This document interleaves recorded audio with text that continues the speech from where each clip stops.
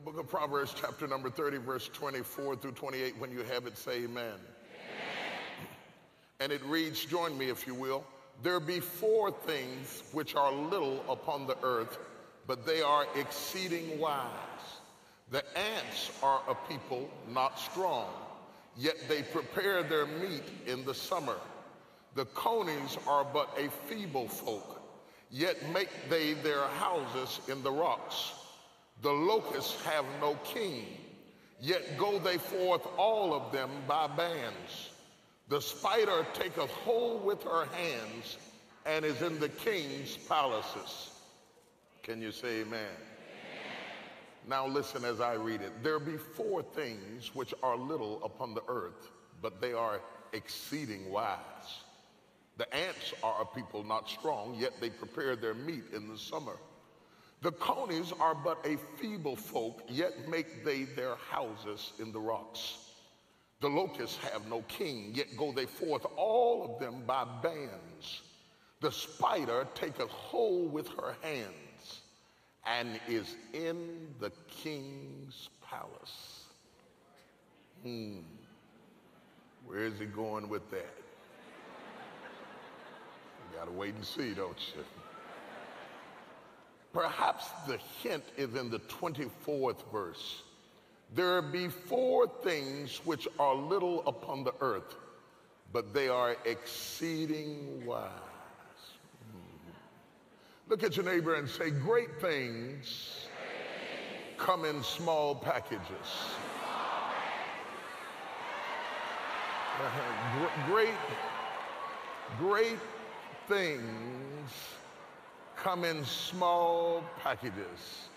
In other words, it doesn't have to be big to be mighty. Just a small vial of nitroglycerin would blow up this entire facility. It doesn't have to be a whole lot to be very effective. Great things come in small packages. There be four things which are little upon the earth, but they are exceeding wise. Let's pray while we're standing. Father, in the name of Jesus, I thank you for the privilege of allowing me the grace to stand behind this sacred desk and preach the glorious gospel of Jesus Christ. I thank you for this first night of revival and what you're going to do tonight in this place. I pray in the name of the Lord that the Spirit of God would just take up residence in this place.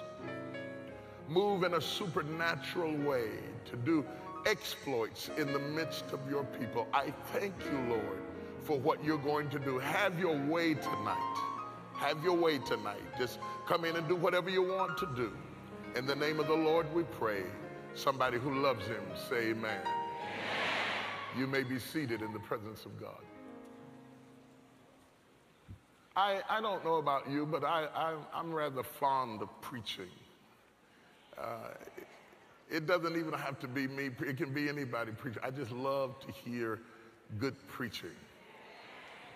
Good preaching just stirs my soul. It, it, it does something for me. It challenges me. It changes my life. It fortifies me. It anchors me. It gives me uh, the fortitude that I need to withstand the tumultuous winds that come against me from day to day. And, and, and yet, I know that there was a time in the history of this world that there was no preaching. There was no preaching. There was no preaching because there was no Bible. And yet, there was still God before there was a preacher. And there was a God before there was a Bible. And the Bible tells me that the heavens are telling the glory of God. So if all the preachers were to resign and stop preaching, and all the Bibles were to be burned, the gospel would still be preached through the heavens. That if you are sensitive enough to it, you can walk out in the middle of a star clustered night and perceive God in the heavens. Many are the sailors who sail the mighty seas and in the midst of the seas begin to recognize the presence of God as the ship was tossed on the boisterous sea. Because even nature gives us hints as to who God is and what he is able to do. The first chapter of Romans tells us that God is going to judge the heathens that had no Bible because they failed to recognize the Creator through the creation. That they should have been able to look at nature itself and perceive the greatness of God. In fact, it implies to us that nature is preaching to us if we have an ear to hear what it is saying. We should have looked at how God clothed the lily and recognized his care for us. We should have seen how God took care of the sparrow that fell from the nest and recognized his care of us. We should have been able to perceive the gentility of the Holy Spirit through the dove that lights gently on our shoulder and recognize that God is a gentle spirit. David did it. He was taking care of sheep out in the pastures somewhere in the rocky hills of Jerusalem in the mountainside. And as he walked across the mountainside tending the sheep, he recognized that what he was to the sheep was exactly what God was to him. And he wrote, The Lord is my shepherd, I shall not want. This makes me to know that God is preaching whether we have an ear to hear or not, and he is preaching through nature itself. Now, make no mistake about it, our God is an awesome God. He's an awesome God. He's able to do, as the Hebrew said, he's awe-inspiring. It means that when you get a glimpse of how, how incredible God is, you're awed and inspired all at the same time. He's awe-inspiring. Our closest English word would be he's awesome. He's incredible. We're filled with awe. We, we can't explain him. We can't draw pictures of him. We can't depict him. We're just filled with awe because our God is an awesome God. The Bible says, He that has an ear, let him hear what the Spirit is saying to the church. It could then be possible that God is speaking and we don't always have an ear to hear what God is saying to us if he doesn't speak it to us in the way that we expect him to speak, perhaps we are missing God on many levels because God is showing up in another form. Several years ago, I had the privilege of going to South Africa for the first time, and it was just, a, you don't mind if I take my time tonight, do you? It was just a wonderful uh, experience for me. It was uh, my first time being on the continent of Africa. I was introduced to the country of South Africa, and it was just incredible to me. And when I got through preaching and ministering, uh, I was in Johannesburg, and they were talking to me about going on a safari and uh, they asked me, Would you like to go on a safari? And I didn't want them to know that I'd never been on one, so I said that would be nice. In reality, I wasn't exactly sure what a safari was and what was entailed in a safari, but I just played along as if I understood what they were talking about. Being a country boy born in the hills of West Virginia, I was not familiar with safaris. You know, uh, you might have seen somebody kill a possum every now and then, but they didn't generally use the term safari to talk about that. Anyway, in South Africa, they talk about uh, a particular group of animals uh, that are in a distinct category all by themselves, and, and they're called the Big Five. And the Big Five basically are comprised of those animals who are at the top of their species. They, there's always something distinctive about them that causes them to be a part of the Big Five.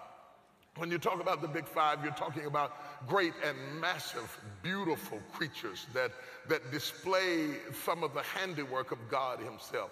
I mean, creatures like the lion, I mean, who, who's at the top of his game, or, or, or the elephant, or, or, or, the rhino, or the leopard, or, or, or the buffalo. They're, they're, they're, distinctive, and they call them the Big Five. And almost everywhere I went, they had uh, pictures of the Big Five. They had drawings of the Big Five. They had uh, ceramic uh, ornaments that, that held the Big Five. There were souvenirs of the Big Five. Of all of the things that could be hunted, uh, these were the most revered and the most awesome and, uh, and often protected species. They were the Big Five. Everybody wanted to brag about capturing the big five. And, and, when you think about it, you can understand it. You must, you must understand when you start talking about the lion, the lion is approximately from the tip of his tail to the tip of his nose, he's over nine feet long.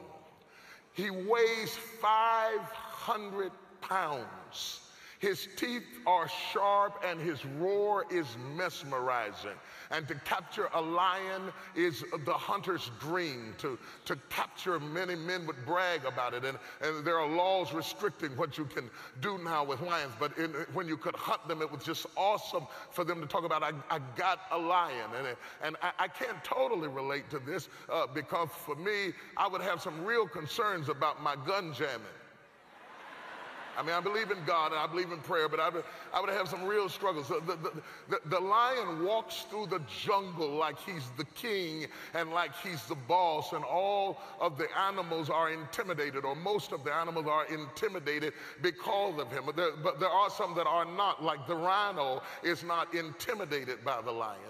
The, the, the rhino is not intimidated because he weighs approximately 3.6 metric tons he's big enough to, to, my mother would say, shade the ground he walks on.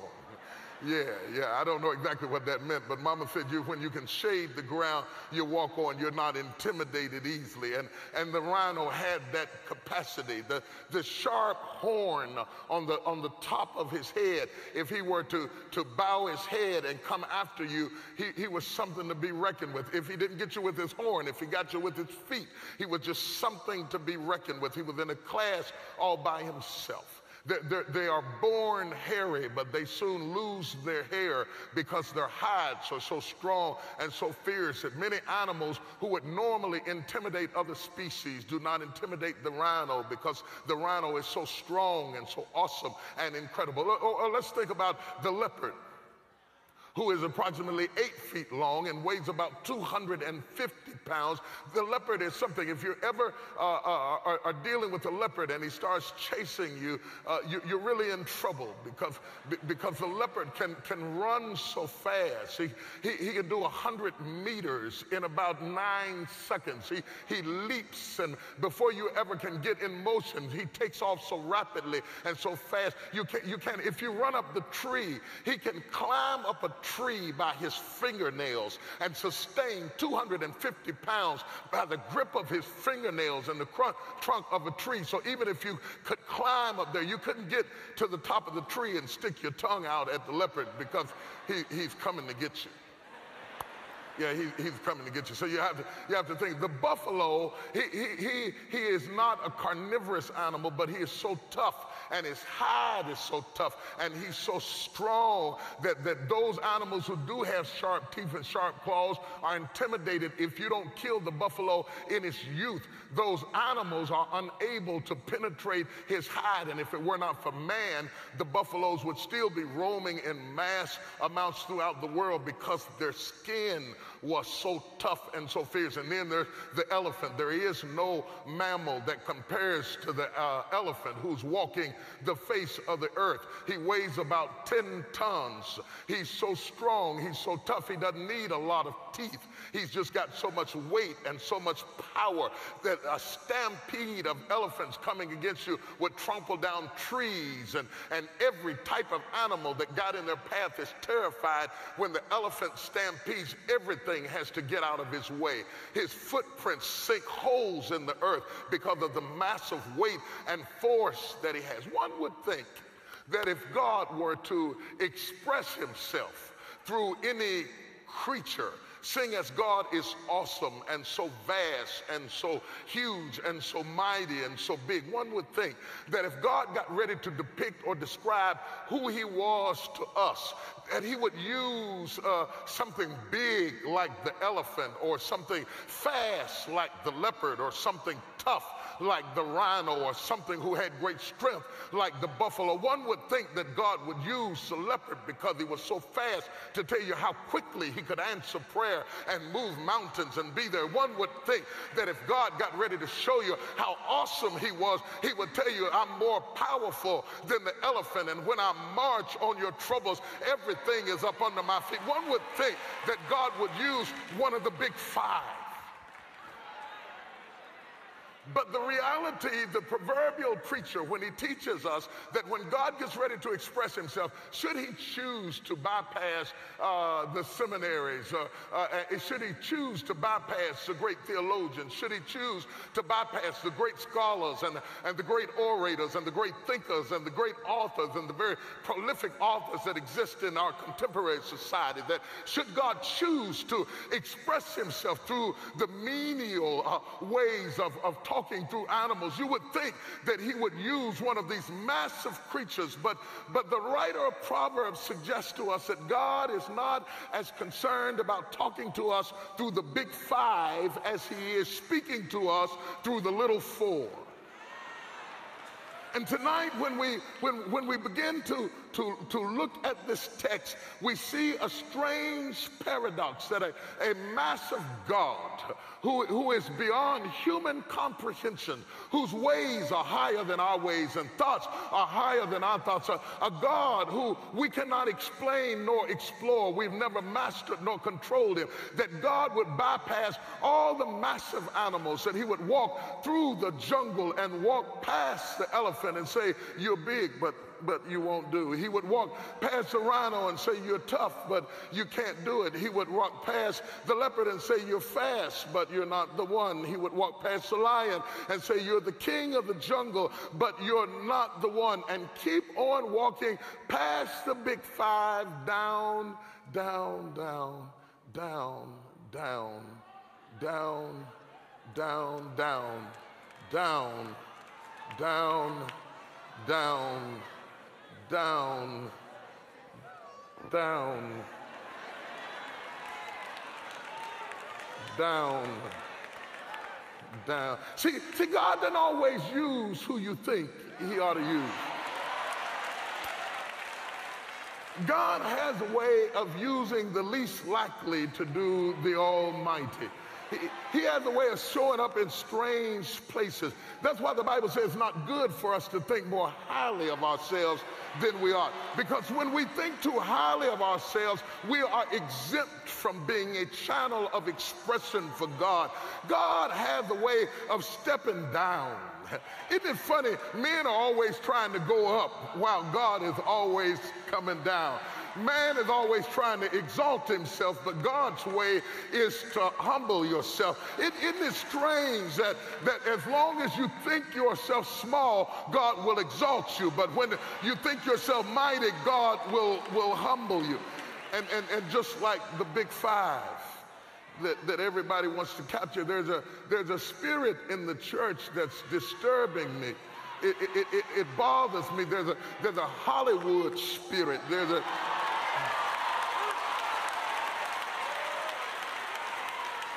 There's a self-promoting, self-aggrandizing, political playing, posturing spirit that has come in the church now that the moment people come in the door, they're, they're after the big five. That everybody wants the top of everything. Everybody wants to be acknowledged, have their name called, special seating, special places, special chairs and special days and special clothes and special, everything has to be special. But you have to be a little careful about going after the big five.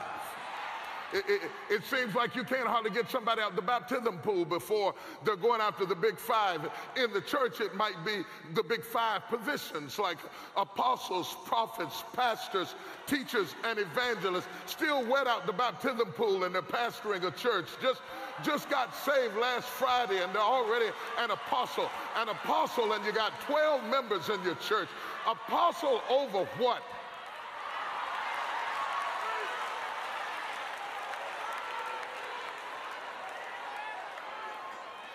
Evangelist, no scripture, no teaching, no preparation, no training, but you, you got an evangelistic spirit. What, what it really is is a rebellious spirit. When, when in reality, you need to sit down somewhere and let God teach you.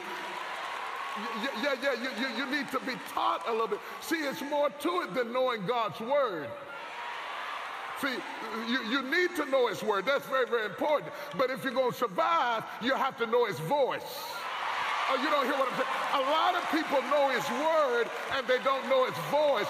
And, And many times I've survived the vicissitudes of life, not because I knew the scripture, but because I knew the voice. And sometimes he would speak to me through an unusual way, and I would perceive him speaking through an unsuspected person because God will speak to you through the least likely. He'll speak to you through your kids sometimes. He'll speak to you through a commercial or a roadside. So it's not enough to know his word if you don't know his voice. Somebody throw your hand up and say, teach me your voice.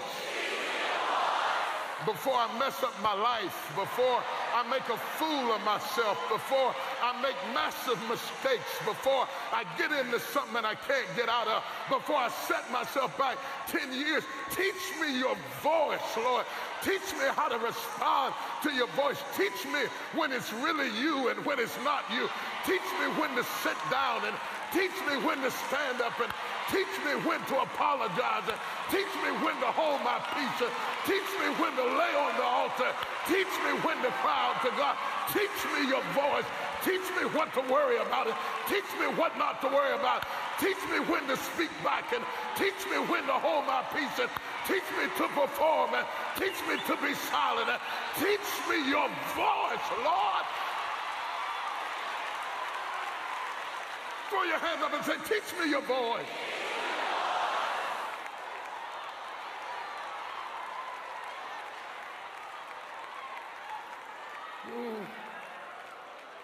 My God, I feel something in here tonight. God is going to do something in here tonight. Some of you have been walking with the Lord a long time, but you're just now starting to learn his voice. When you start learning his voice, a lot of things that used to bother you don't bother you anymore. You're not easily tricked up anymore because things you used to react to, you don't react to them anymore because you say, that's not him, that's not him, that's not him, that's him right there. Teach me your voice, Lord. Throw your hand up and say, teach me your voice.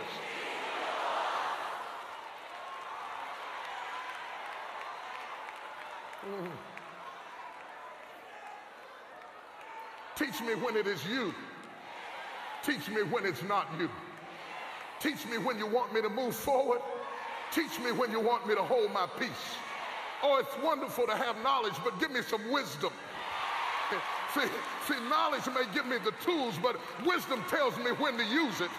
You can have all the equipment, but if you don't know when to use what God gave you, you'll mess yourself up. And, and, and the big five may have the knowledge, but the little four have the wisdom. The Bible said there are four little things, and though they be little, they are very wise. Now, when a fool calls someone wise, we are not moved. Because when a fool calls someone wise, a fool is easily impressed.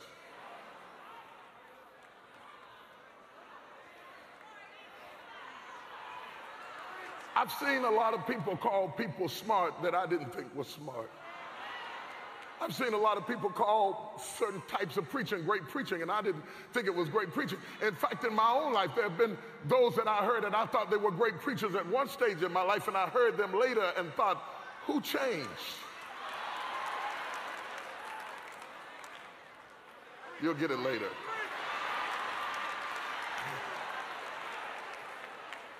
But when God says you're wise, can you imagine all the sages of the ages and all the theologians and all the scholars waiting around when God opens his mouth and says, I'm going to show you what's really wise. And they say,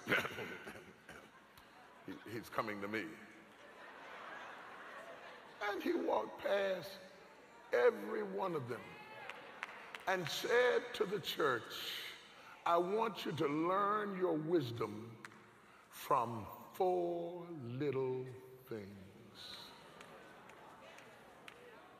Four little things. If you want to be wise, God said, I'm going to give you a message through four little things. Don't underestimate them because they're little. Because great things come in small packages. And if you can harness the wisdom of these four small elements, it will take you through the rest of your life. He walked past the elephant and past the rhino and past the leopard. He walked right on down past the big five. He ran past the cheetah. He went past the eagle. He walked past the hawk. He came down past the wolf. He went past the hyena. He walked past the fox. He walked past the rabbit. He moved past the squirrel. He moved past the beetle, the bug, and the hummingbird. And he came down to a sandy hill with a hole in the center of it. And there he pointed at an ant. And he says, if you can garner the wisdom from this, I'm going to give you four things. I'm going to give you four messages in these four little things that if you can receive it, it will change your life. He said, watch the ants. And he points to an ant and he shows us an ant who is preparing food for winter. And he's doing it in the summer.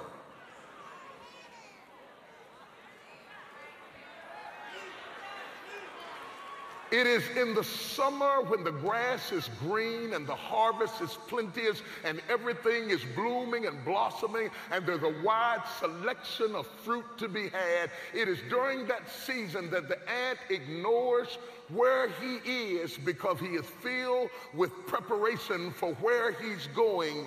And so he does something that seems foolish at the time that he's doing it, but he does it because he has in his mind a place that he's going to. And, and the ant, if he were here to run this revival tonight, his message would be point number one prepare yourself.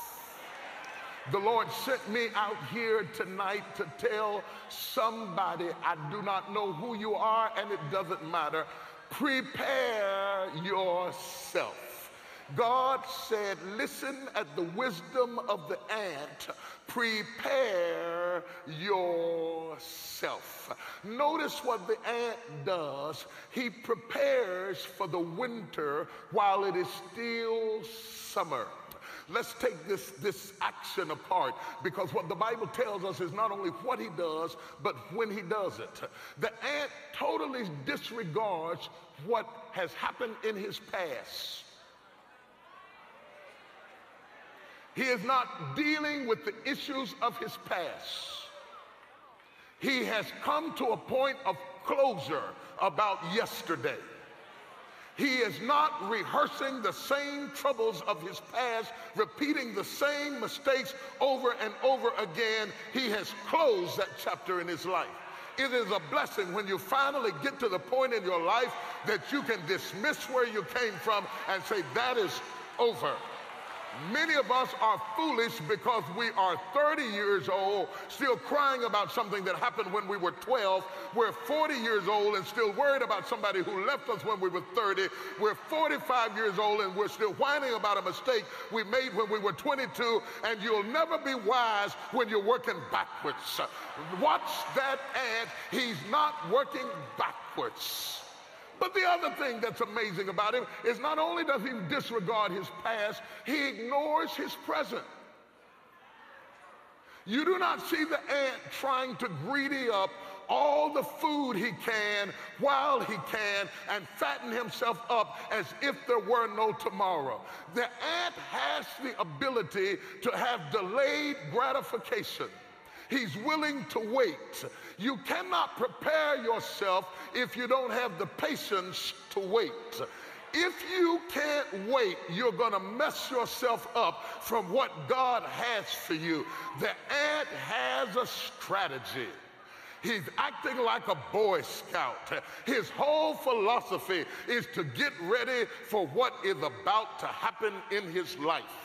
Many, many years ago, when God brought me out the hills of West Virginia and gave me a national platform, one of the things that I said that catapulted me into the public eye was simply two words. They were two words that I said over and over and over and over again until everybody says them now, and it was get ready, get ready, get ready, get ready, get ready, get ready, get ready, get ready, get ready, get ready, get ready. I think people got so excited about how I said it that they didn't listen at what I said. The word of the Lord to you is to prepare yourself. Look your neighbor in the face and say, prepare yourself. Look at the ant, my brothers and sisters. Look at the ant, my brothers and sisters. The ant ignores the summer, preparing for the winter. He is taking the food of his summer and moving it toward his winter. He has enough faith to believe that he will be there in the winter. He is not intimidated by any of his enemies in the summer. He has got enemies, he's got assailants, he's got adversities, but he does not believe that any of his natural predators will be able to stop him from getting to the next level he so disregards his enemies that he's so busy working on where he's going that he doesn't have time to worry about where he is. Oh, y'all don't hear what I'm saying to you. Look at your neighbor say, I'm busy. I, I, don't have time to worry about what somebody's trying to do right now. I don't believe that anything that they're trying to do right now is going to stop me from getting to the next level. I've got to get ready for where God is about to take me, and I don't have time to play. I must prepare myself. I can't wait on you to prepare me. I can't wait on the preacher to prepare me. I can't wait on a husband to prepare me. I can't wait on somebody to discover me and prepare me. I must prepare myself. You don't see the ant sitting back like the queen bee sending somebody else to get his food. But the ant said, if I'm going to eat it, I got to go get it. I'm going to prepare myself. I want to talk to you tonight. Somebody look at your neighbor and say, bring it in yourself. God said, I've got something out there for you that's going to sustain you in your latter day, but you got to bring it in yourself. Your eyes have not seen, your ears have not heard, neither have entered into your heart the thing that I have prepared for them that love it, but it's been revealed unto us by Spirit. But in order to get it, you got to bring it in yourself. Now, the word prepare the prefix on the word pare. Prefix dealing with when you do it, pare dealing with what you do. Pare, to, to pare like, like, your, like our mothers had a paring knife. It, it, was cut, you, it meant it was so sharp you could cut it to the continuity of whatever it was you were trying to peel. And it was designed so that you could pare and prepare the food ahead of time and get it in place. Prepare means to get it ready in advance. I want to talk to somebody tonight because if you're going to obey the wisdom of the ant, you've got to be willing to look like a fool. You've got to be busy getting ready for something that you don't need right now. You got to be out of step with your situation right now, but in step with your destiny so that you are reacting to something that hasn't happened yet rather than responding to something that's going on right now. Help me, Lord, to preach your word. The Lord said to me when he gave me this message, he said, tell my people that they are ungodly. They are ungodly, not just because of moral issues and not just because of morality. They are ungodly in that they are not like me. I said, Lord, what do you mean they're not like you? God said, I do not react I don't let the enemy do something and then I figure out what I'm going to do. Because when the enemy move, makes the first move, it means he's in charge. The enemy has never made a move that God reacted to. Because if God reacted, then the enemy would be in charge. God acts. He's sovereign. He does what he does. It's the enemy that's trying to catch up with what God is doing. Remember when the enemy came walking through the cool of the garden in the form of a serpent to seduce Eve and seduced her and beguiled her into partaking the forbidden fruit. And she turned and gave it to the man, and the man did eat. It wasn't like God jumped up and said, What in the world am I going to do? If you read your Bible, you will know that the enemy did something in time that God had already resolved in eternity. For the Bible said that the Lamb was slain from the foundations of the world, so that by the time the enemy had done something, God said, I already got something for what you're trying to do. Your God is a sovereign God. God has already got a way of escape for anything you will ever face. He has never been taken by surprise. Can I go deeper? There is nothing about you that has ever surprised God. You may have surprised yourself. You may have surprised your friends. You may have surprised your mama. You may have surprised your coworkers. You may have disappointed yourself, but you have not shocked God. God already knew everything you were going to do before you ever did it. That's why I love being saved because if God saved me, he already has considered my past, my present, and my future. If God said I'm accepted in the beloved, then, oh, oh, oh. God said, tell my people I want them to get like me. I want them to stop reacting to situations that the enemy does. I want them to stop dealing with the issues of their past, nor responding to the issues of their present, but I want them to start focusing on where I told you I was going to take you. I don't know who you are, but there's somebody supposed to be here tonight that God has already told you some things he was going to do in your life. You don't have time to deal with your past nor confront your enemies in your present. God said, pre prepare for the next level. Touch your neighbor and say, I gotta go. I gotta go to the next level. I gotta start getting ready for what God is about to do in my life. Woe be unto me if God puts me on a platform that I'm not prepared for. I've gotta be ready now for what's about to happen next. Is there anybody in here who's been feeling like you had to get ready? And you didn't even understand there's been an urgency down in your spirit that you couldn't even figure out. Something in you has, you're running on all the burners and something is pushing you and you keep saying, I got to get, I got to, I got to, I got to hurry up. It's because God is about to take you into another level of glory. And yes, you might look like a fool right now, but go ahead and look like a fool.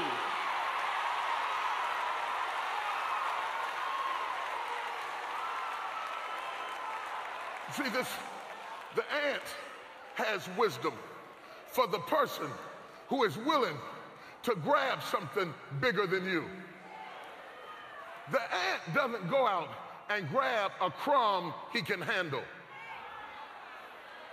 The ant will get a piece of bread that's three times bigger than he is. It'll be so big that he's got to back it up and drag it to get it where he's trying to go. Anything else would have let it go and said, I can't get it back. Some of you have been operating like the ant. You got a hold to something, you can't hardly carry it. It's so big you look like a fool, but you're busy trying to reel it in. And the Lord told me to tell you, go ahead, go ahead, go ahead, go ahead, go ahead.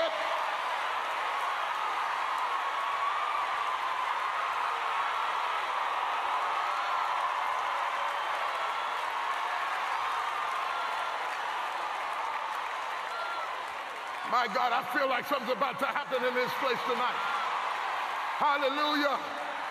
Slap somebody and tell them, prepare yourself.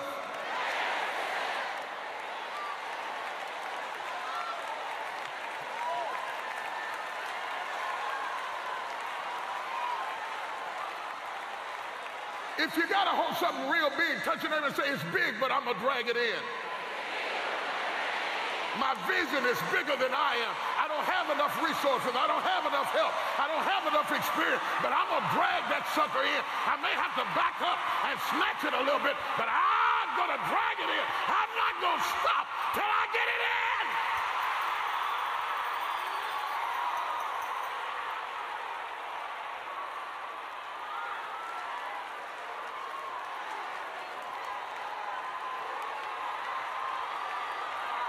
Your neighbor and tell him, sink your teeth into it.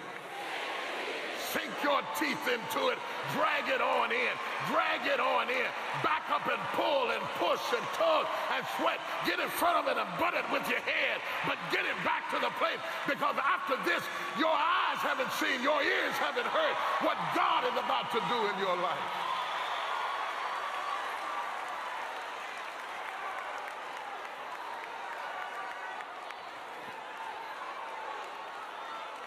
Look at your neighbor and say, great things come in small packages. Look at him and say, I don't have enough, but I'm going to bring it in. I don't have enough money. I don't have enough experience. I don't have enough time. I don't have enough support, but I'm going to bring it in. I may look like a fool, but I'm going to bring it in. I may have to get out of character, but I'm going to bring it in. I may have to stretch myself, but I'm going to bring it in. I may have to tug and pull and cry and lay hands on my own head, rebuke the devil. I may have to go back to school, take night classes, get a second job, but I, I'm going to bring it in.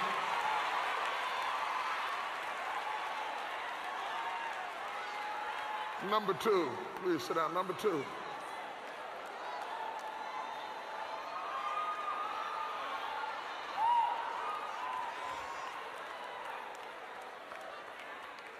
The second morsel of wisdom is in the mouth of the conies. It is in the mouth of the conies.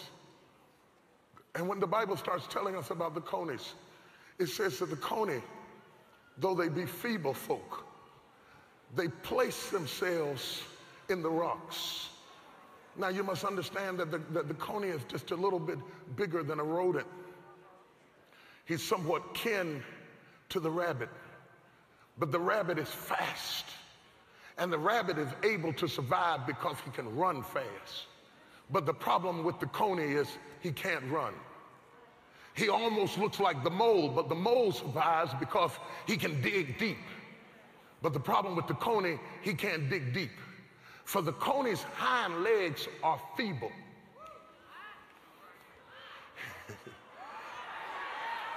and so when trouble comes, he can't outrun it because he's got a handicap. And if he had to run, the enemy would devour him. And when he tries to dig, his teeth are not sharp enough and his claws are not fast enough to dig a hole like the mole to outrun the enemy. And so what the coney does, in order to survive the jungle he lives in, so that he can get in a place that, that, that no weapon formed against him will be able to prosper. The Bible says that the coney positions himself so the Lord told me to tell you, number two, position yourself. Who am I preaching to? Some of you have been walking around in the jungle feeling sorry for yourself. And you said, Lord, I can't survive in this situation because I got a weakness. Lord, I can't survive because I started too late. If I'd have got saved sooner, I'd have been further. If I'd have started, if I knew then what I know now, I'd have been all right. Lord, I got a handicap. I got two kids and no help. Lord, I got a handicap. I didn't finish my degree. Lord, I got a handicap. I got a personality disorder. Lord, I got a handicap. And the Lord sent me to tell you everything got a handicap. And if you're going to survive, you got to position yourself. You see, the coney has a handicap, but he positions himself in a position of strength. He backs himself up and positions himself in the rocks. And the Lord said, for where he's getting ready to take you, you're going to have to move into a new position. You're too low for what you got to do. You got to get up in the cleft of the rock. In, in, fact, in the Hebrew, the name for the coney literally means to hide yourself. And the Lord said that he's getting ready to send a wave of glory over your life. And you're going to have to hide yourself. You're going to have to reposition yourself. This is going to be a year that people are not going to understand you because they're used to you hanging with them. But if you will listen at the coney, you're going to have to reposition yourself. Touch three people and tell them I'm getting ready to reposition myself. Don't, don't get mad. Don't get upset. Don't, don't get an attitude. But, but I'm getting ready to break out of some circles and break out of some barriers. I'm getting ready to reposition myself for what God's getting ready to do in my life. I got to get out of the weak places. I got to get into the strong places. I got to position myself. I got to reposture myself. I'm too low to do what God has called me to do. And so the Coney My God, yes, Lord. While I'm preaching to you, he's preaching to me. He said, I want you to stop and take a minute. And I want you to release my people in the spirit for a change. All of you that need to reposition yourself, throw your hands up. In the name of Jesus, I command a release to occur in your spirit. I break the bands of guilt that have held you down and made you feel like you had to stay in the same place to please people. I command the enemy in the name of Jesus to take his hands off of your thinking, and I command you to position yourself in a place of strength. Turn around in a circle right now. God's getting ready to change things circumstances, conditions, places, realign, reorder. You're getting a tune-up. You're going through a transition. You're going through a realignment. God's getting ready to reposition you. Give God a praise.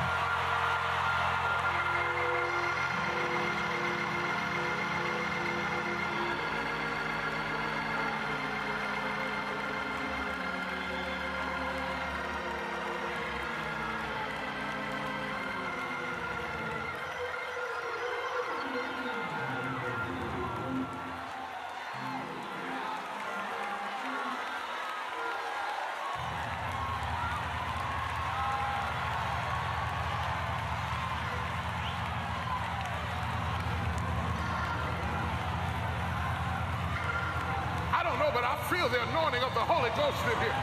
I feel the spirit of the living God in here. Somebody just got a release in the spirit of God. Somebody just somebody somebody just got a supernatural release in the spirit of God. Something just broke off of your life right now. Give God a praise, a praise, a praise, a praise, a praise.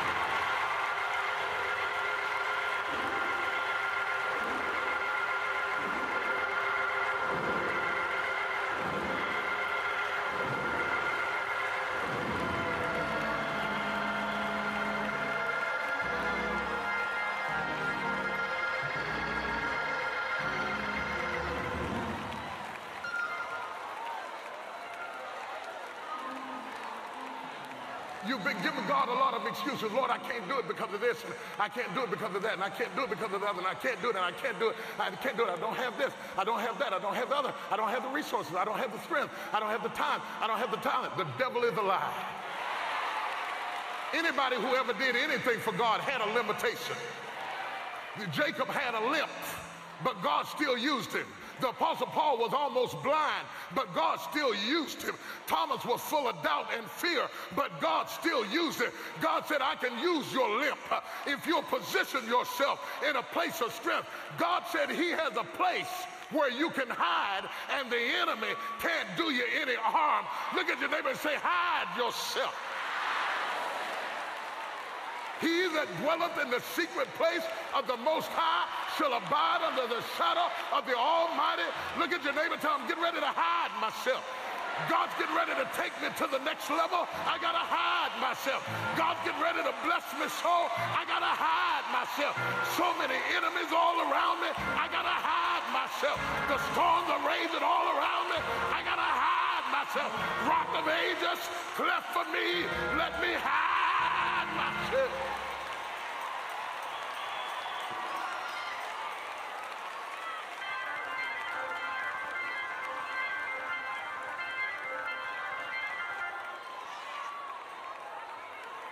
Number three.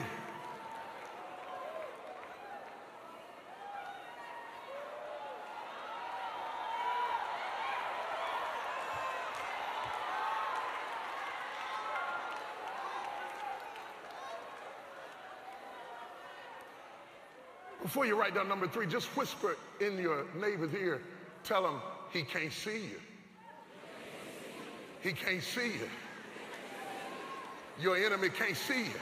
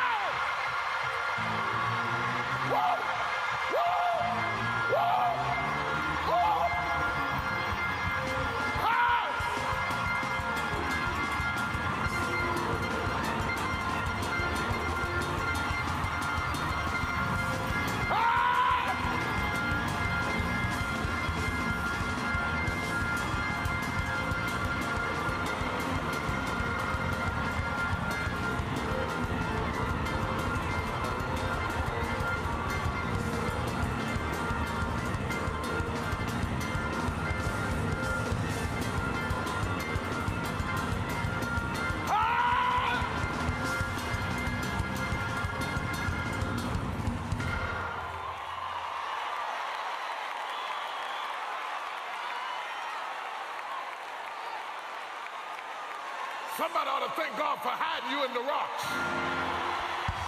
Hiding in the rock. You know my weakness. You know my trials. You know my tests. You know my tribulation. Hide me in the rock. Hide me. Hide me. Hide me, Lord.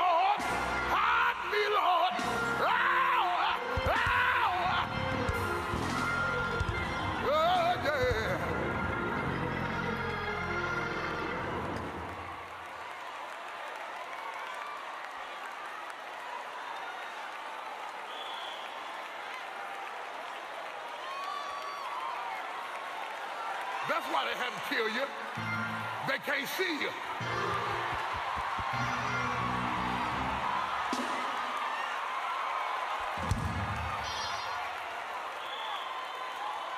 Let me preach on. Sit down, sit down. Let me preach on. Let me preach on. Let me preach on.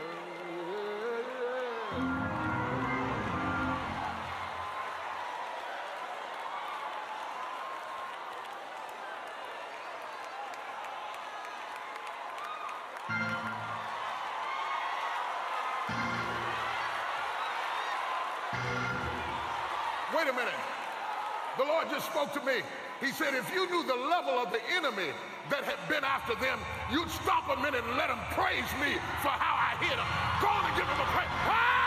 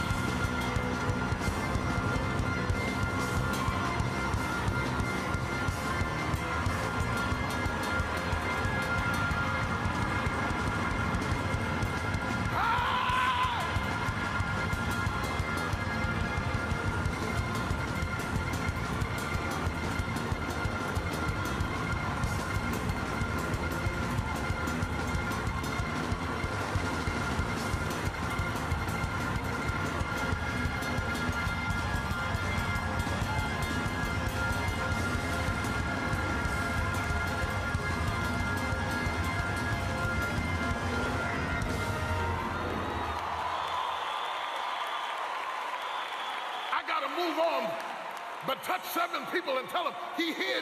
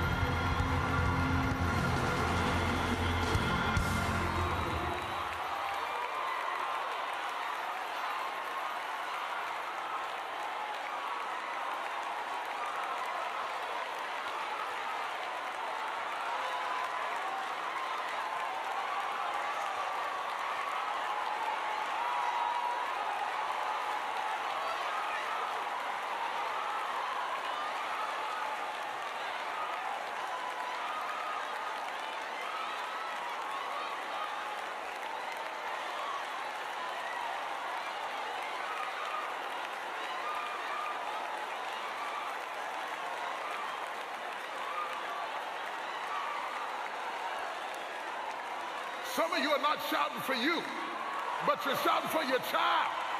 The Lord hid your child. The Lord hid your child. If you hadn't hid your child, the child would have been dead. If you hadn't hid your child, your child would have been swallowed up. If the Lord hadn't hid your child, you'd have been at a funeral. But the Lord, the Lord,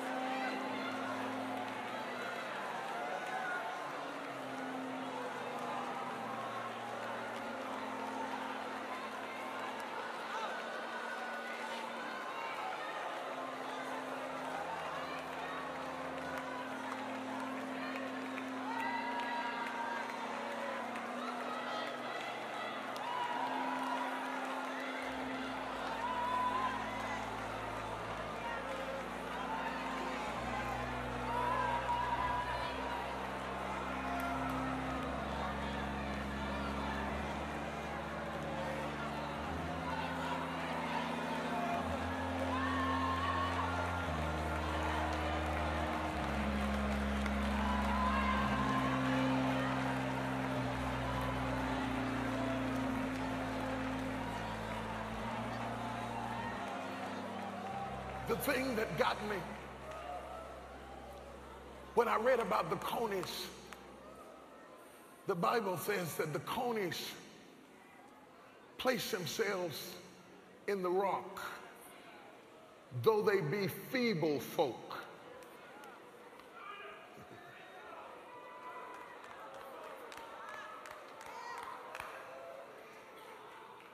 And one moment he's talking about conies, and then the next minute he calls them feeble folk.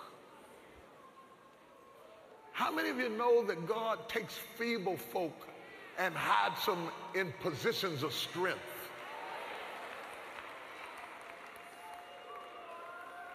He puts extra support around them. When you got a bad leg, they don't put the brace on the good leg. They put the brace on the feeble place.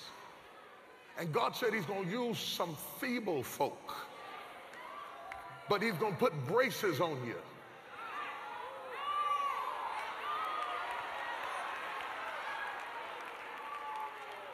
And if you look at the coney can't even move good because it's so feeble. And it can't even move fast because it's so feeble. But God said, I already got that covered. God said, I got a place I'm going to put you. And when I set you in that place, I'm going to hide you. Because you see, feeble folk praise God differently than other folk. See, other folk don't have praise God because they have a they have a feeling of entitlement. They think they were supposed to be there. But the conies know that if it hadn't have been for the Lord, they would have been completely swallowed up. They could not run the enemy, they could not dig the enemy, and yet they survived. So the conies keep saying, if it had not been for the Lord that was on my side, I would have been swallowed up. But thanks be unto God who gives me the victory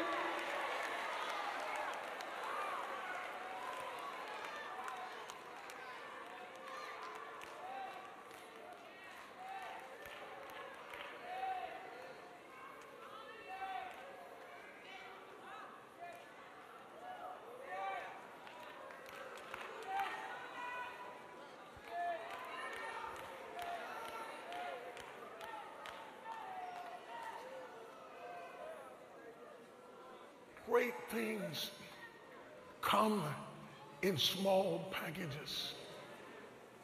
There's an anointing in this place right now. I'm not going to override it. I'm not going to overlook it. I'm going to let it work.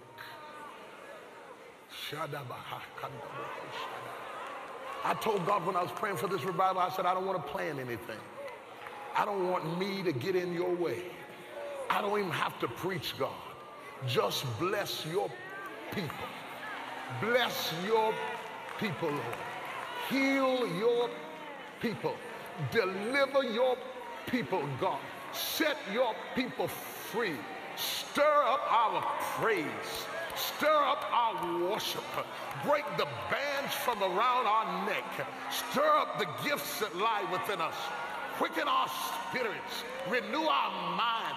We're hungry. Is anybody hungry? For a move of God in your life and in your spirit. I'm hungry.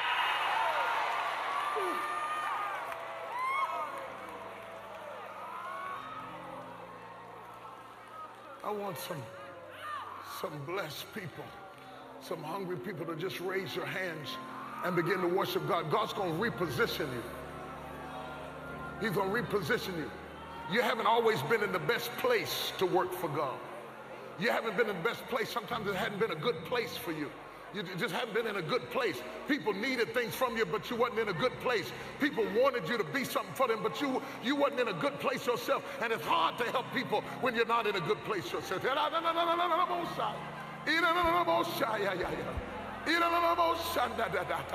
Lord, I'm trying to be faithful, but I'm not in a good place myself. Position me.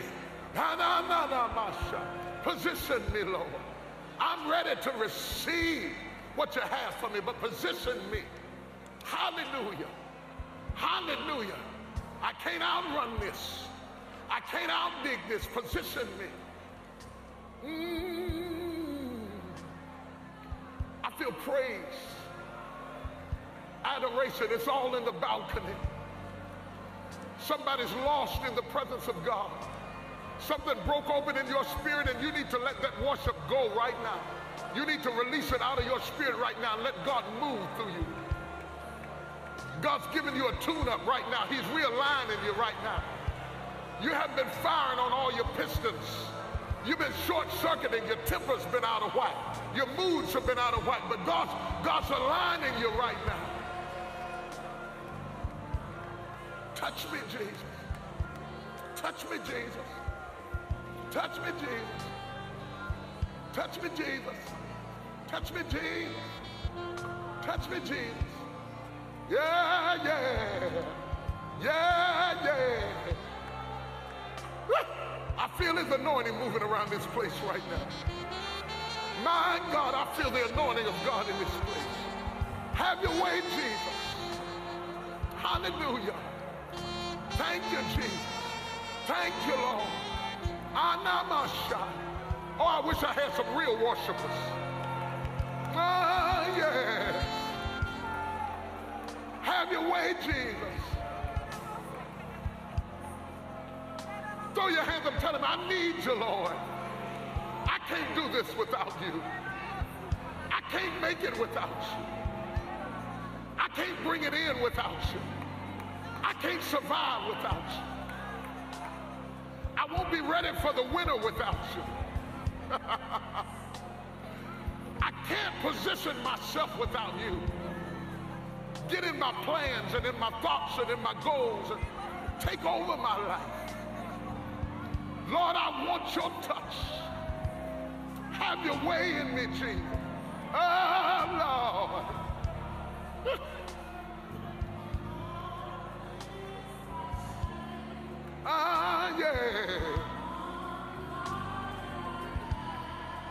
Touch your people, Lord. Touch your people, Lord. Touch your people, Lord. Touch your people, Lord. Touch your people, Lord. Touch your people, Lord. Touch your people, Lord. Touch your people, Lord. Let your anointing fall on your people, Lord. Strengthen your sons and your daughters. My God, be glorified in his life today. Hallelujah. Oh, yes, Lord. Touch your people, Lord. Touch your people. Touch your people. Touch your people. Touch your people. We're hungry for you. We're hungry for you. We need your touch. Come on and worship him. The anointing of God is in this place. The anointing is here. Have your way, Jesus. Have your way, Jesus. Have your way, Jesus. Have your way, Lord. I'm hungry for you, Lord. Be glorified. Ah, like never before. Quench the thirsting in his soul. Ah, Spirit of the living God, fall fresh on. Hallelujah! Fall on him now. Right now. Thank you. Let the praise of God ring out of your mouth. Begin to bless his name right now. The anointing is here. The anointing of God is here. I am. Ah, hallelujah. Yes. Yes. Yes. Yes. Somebody begin to worship him right now. Somebody begin to worship him right now. Hallelujah. Thank you, Lord. Thank you, Lord. Thank you, Lord. Thank you, Lord. Thank you, Lord. Thank you, Lord. Thank you, Lord. Thank you, Lord. Thank you, Lord. Have your way, Jesus. Have your way. Have your way, Lord. Have your way. My God, I bless your name. Somebody give him glory right now. Yes, Lord. Yes, Lord. Yes, Lord. Yes, Lord. Come on, come on, come on. Come on, come on, come on, come on.